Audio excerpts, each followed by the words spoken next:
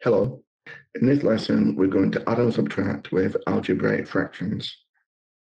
We begin with x over 2 plus x over 3. Now to add these fractions, we need a common denominator, and the lowest common multiple of 2 and 3 is 6. And so we'll make the denominator over 6. To do this, we need to multiply x over 2 by 3 and we need to multiply x over 3 by 2 because 2 times 3 will make 6 and 3 times 2 will make 6. So we have 3x minus 2x over 6. That is 3x minus 2x all over 6, which is just x over 6. For question B, we have a over c minus 4 over 2c. And the lowest common multiple of a denominator now is 2c. So we're going to multiply this fraction by 2, and that will give c times 2, 2c. And a times 2 is 2a, minus 4 over 2c. So this becomes 2a minus 4 over 2c. And we can factorize the numerator to make two lots of a minus 2 over 2c. We can divide both numerator and denominator by 2, so that will be a minus 2 over c. For question C, we have 1 over 2x minus 1 over 5x.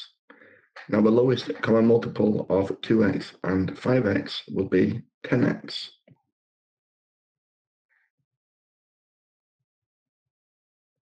So we're going to multiply this fraction by 5 because 2x times 5 will make 10x and 5x multiplied by 2 would make 10x. So 1 times 5 is 5 and 1 times 2 is 2. So now we have 5 minus 2 over 10x, which is 3 over 10x. And for question D, we have 2y minus 1 over 3 minus y plus 2 over 4.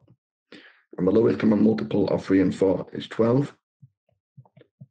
So we need to multiply the numerator and denominator by 4, which is four lots of 2y minus 1. And we need to multiply this numerator and denominator by 3, because 4 times 3 makes 12. And that is 3 lots of y plus 2. So now we can expand these brackets out. We have 4 times 2y, which is 8y, minus 4 times 1. Take away 3 times y, and 3 times 2 over 12. And we're going to expand this bracket out now.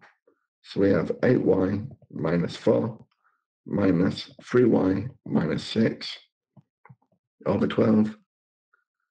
8y take away 3y is 5y. And a negative 4 take away the 6 is minus 10 over 12. And for question E, we have 3 over g plus 2 plus 2 over g plus 1. And the common denominator now, we need to multiply this fraction by this value and this fraction by this value. So we have three lots of g plus 1 over g plus 2 multiplied by g plus 1 plus two lots of g plus 2 over the product of g plus 1 and g plus 2. So we have 3g plus 3 by expanding out this bracket plus 2g plus 4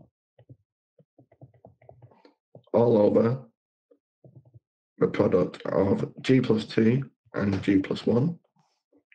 So we have 3g and 2g, which is 5g, 3 and 4, which is 7, all over g plus 2 lots of g plus 1.